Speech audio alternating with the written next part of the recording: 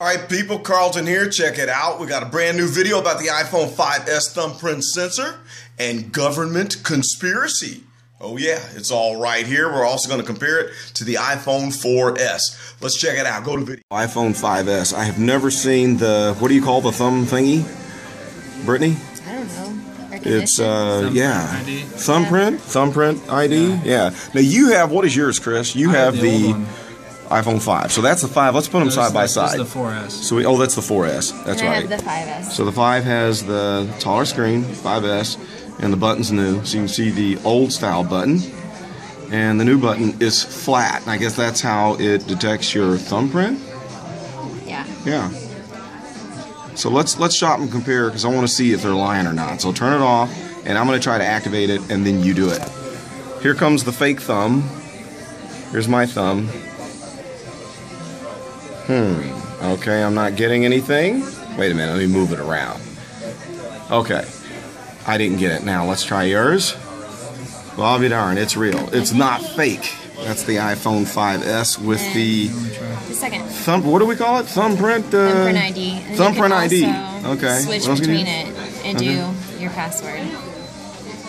Oh, so now if I happen to find your phone, I know your password Guess I'll be changing because I just watched it. You better change it to six six six six. Haha.